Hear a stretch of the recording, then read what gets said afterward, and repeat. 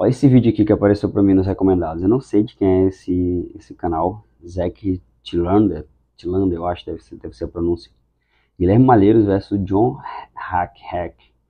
Who Power Cleans More? Né? Quem levanta mais peso no clean, né? É, e aí, ó. Vamos ver. Pelo que eu vi, esse cara é powerlifter. Né? Para quem não sabe, powerlifter é o cara que faz movimentos de força e de basismo, que são os deadlifts, os bench press e os back squat, né? ou seja, levantamento terra, é, supino reto e agachamento costas. Né? Ou seja, e o Guilherme Malheiros é crossfiteiro, é o melhor né, crossfiteiro do Brasil, a gente pode dizer. Hoje não, né? Que ele o, hoje é o Kaique, mas é um dos melhores, né? Do Brasil. E no Games, nas duas vezes que ele foi, é, as últimas duas vezes que ele foi, ele venceu o, a prova de peso, ou seja, ele provou pelo menos nas duas vezes ele foi o cara dos dentre os crossfitters do mundo, né, elite, o que tem mais força, levanta mais carga. E, ou seja, esses dois caras, nenhum dos dois caras são é, especialistas em cleans, clean que eles estavam fazendo aqui até agora que a gente viu, né? Nenhum dos dois. É, eles são especialistas em um em crossfit e outro em powerlifting. E aí é uma disputa legal. Talvez esse cara aqui dono do canal seja esse cara aí que o Gui vai levantar, né? Seja weightlifter, é o cara que faz especialista em clean jerk e snatch ou arrancos e é, arremessos, né? Arremessos e arrancos na, nesta ordem. Jerk, snatch, arremesso ou arranco. Olha aí. Aí vamos ver quem levanta. Fiquei curioso porque o Gui, pelo menos, é um cara muito forte, né? É, em relação aos crossfitters, né? Não é um cara que é especialista no grupo de peso. Mas como outro cara também não é especialista, mas é um cara com certeza muito forte. É, muito forte ele deve ser um cara que vai pegar uma carga boa também. Deixa eu colocar aqui a tradução automática para nós. Ele estava colocando aí, né? Que português. Ó. Que é o, o, o powerlifter preferido dele e tal, né? Usar o clean, a tradução aqui, clean idiota, porque jerk realmente significa é, idiota, não tem nada a ver com, com o movimento. É um 915 no terra, 915 libras, né? Pô, peso pra caramba, deve ser uns 400 quilos aí. 400 e pouco. No bench press. Não sei.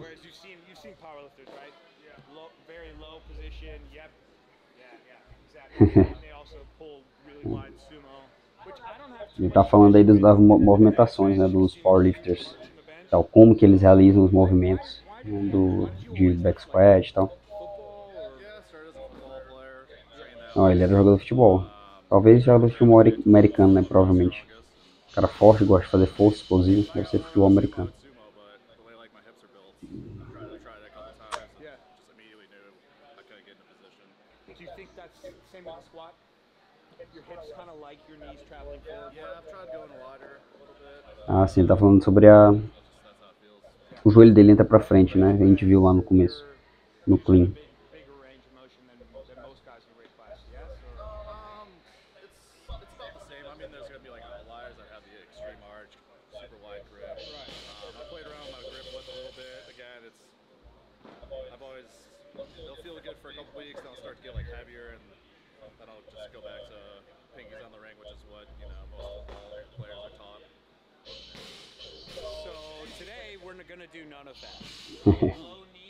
Vamos lá. Peraí, ele tá ensinando o cara. Tá ensinando o cara a fazer. Quer dizer que ele vai aprender agora, confessa. Não é possível. Não é possível que ele aprendeu aí e tava fazendo a movimentação daquele jeito lá que a gente viu.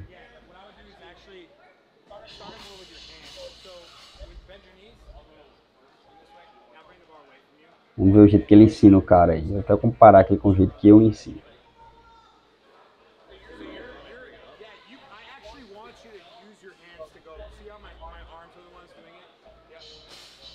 Hum, ele está ensinando a fazer o contato para essa transferência.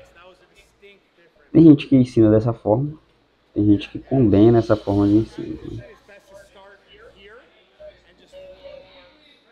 Agora, pronto, o cara já aprendeu, né? Agora vamos lá pro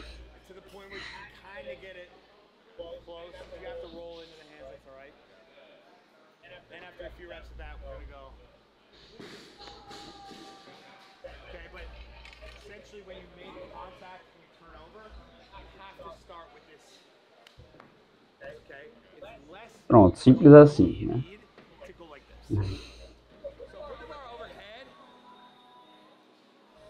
Vamos ver.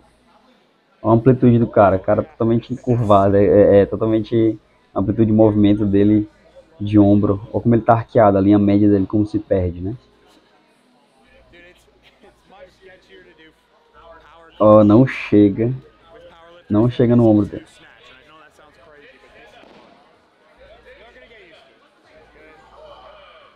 Cara, muito encurtado.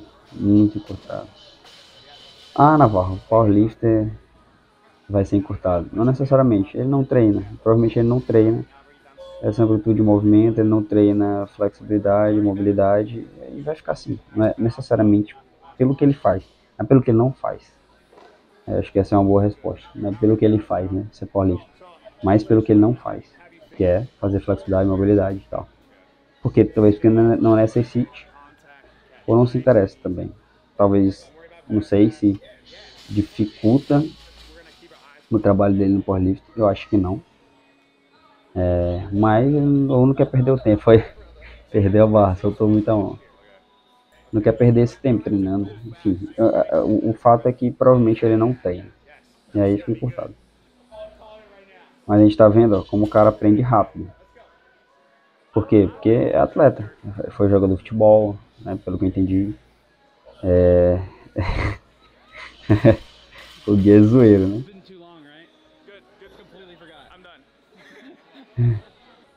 É, porque era jogador de futebol, o cara, né? E é, e é powerlifting. Então consegue aprender mais fácil.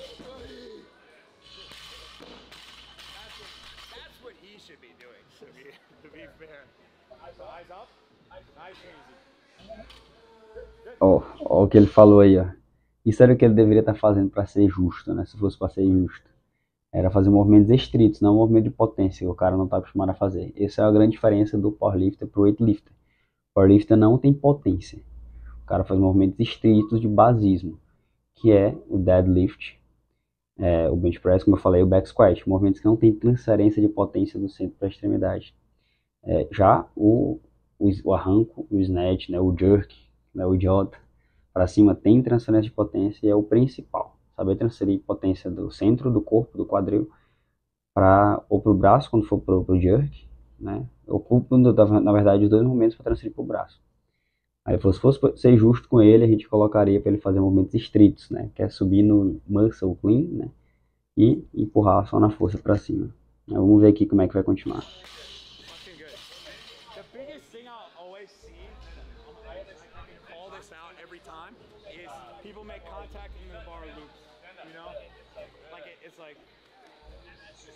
It's just the connection from going from here to here is so weightlifter specific.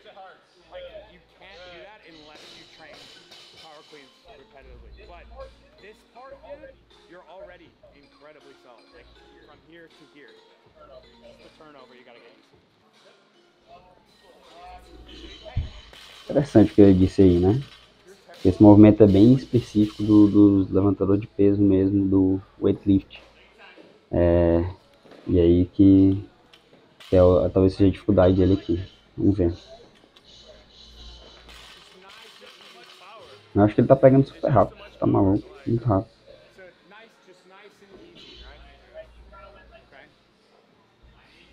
Hum, ele tá tentando ensinar ele a fazer um power, né? Que é entrar no deep. Fazer um mergulho para receber. Pô, o cara acostumado a fazer força, né, meu irmão? Cara acostumado a fazer força. Tudo dele é na força. Ele prefere fazer força, puxar com o braço até o ombro do que ele entrar embaixo e recepcionar a barra com a perna. Difícil pro cara entender.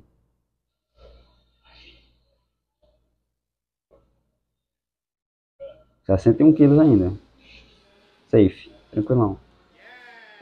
Ó, mas ele fez um powerzinho tímido, mas fez.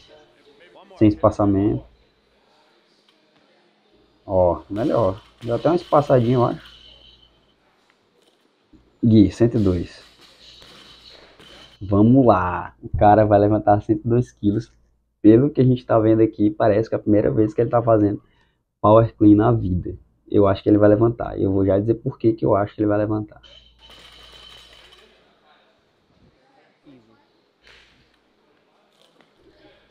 Jerk agora.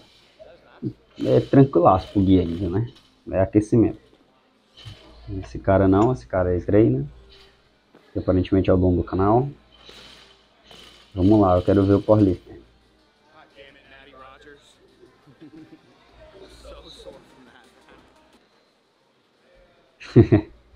Vamos ver, 102 quilos. Na pura brutalidade, eles estão fazendo um power clean e um com jerk, né? Vamos ver. Aí eu falei o jerk agora. Ou não. É, ele só fez power clean. 115. Por que, que eu acho que o cara vai conseguir levantar um peso? Aí você que tá aí, meu Deus, eu treino há tanto tempo né, e nunca consegui bater o 102 de clean, eu faço com dificuldade, o cara tá aí.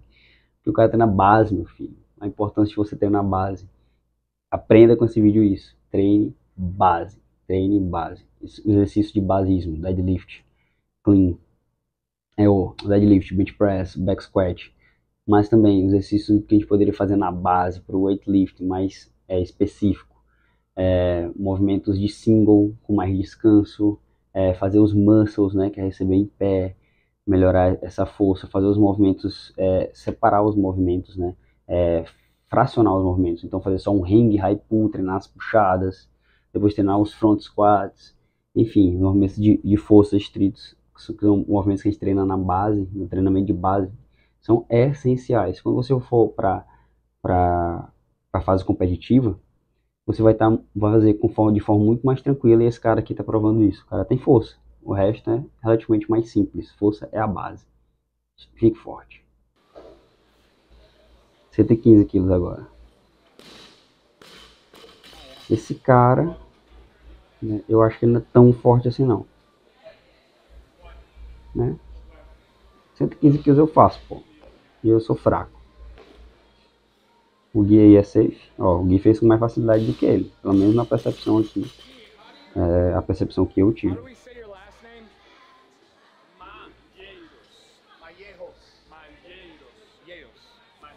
Os caras não conseguem pronunciar malheiros lá. Não consegue, não, não, não tem isso, né? Acho que não tem isso na, na, na pronúncia deles. Malheiros, sempre falam marreiros, marreiros, marreiros.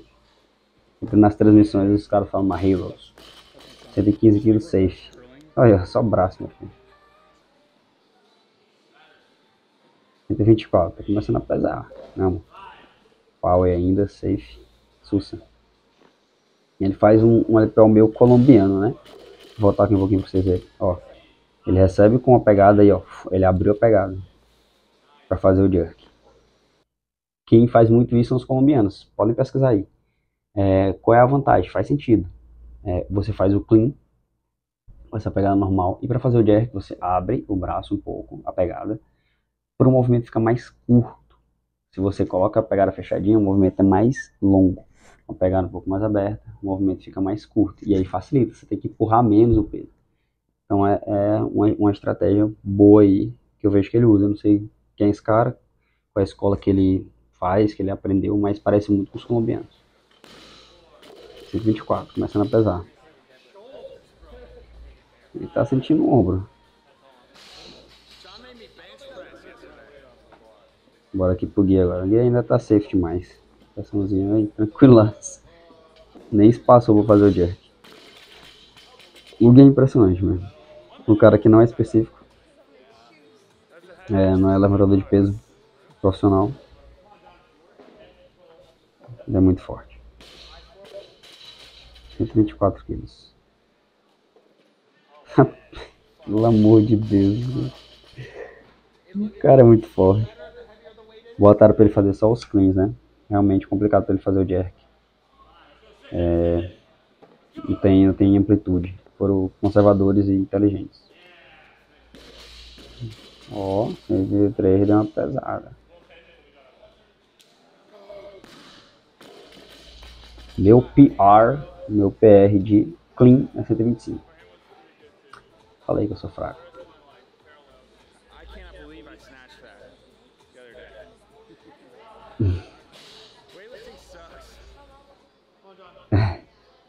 A gente fez uma merda, né? Vamos ver. 183 quilos. Ah. Cara, esse cara com a técnica de, de potência de levantamento de peso, quanto que eu não ia levantar? A deadlift do, desse cara deve ser. Ele passou no início, eu perdi, né? Mas se o, o bench press dele é um. Não, ele falou o levantamento de terra uns 400 e pouco, né? Pô, pesado demais. Pô. O cara é forte demais. Levantar isso aí do chão não é nada, né?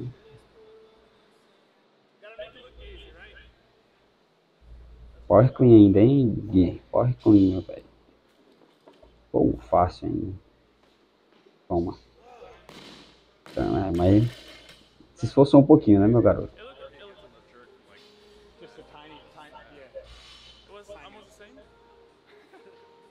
Hum.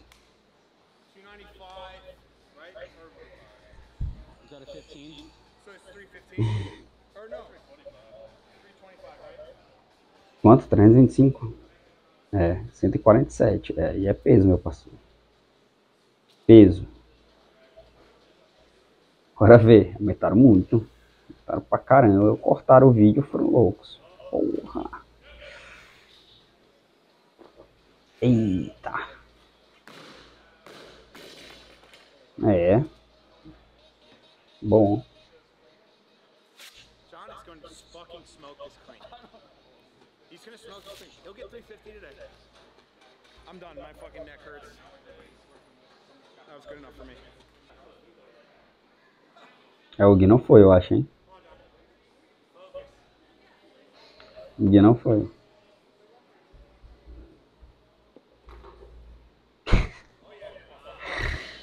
Caraca, que loucura. Que loucura.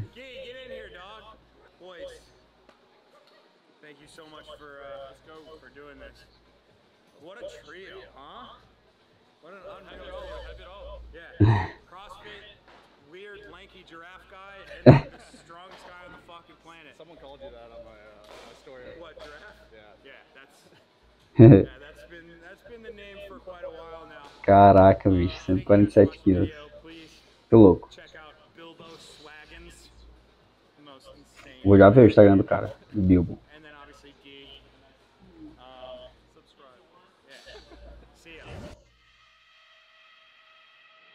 Pô, excelente. Gostei, gostei, gostei. É isso aí, galera. Vocês viram aí, né? O cara levanta o powerlifter forte pra caramba. É, treine base. Acho que essa é a, a mensagem do react desse vídeo. Treine forte, treine base.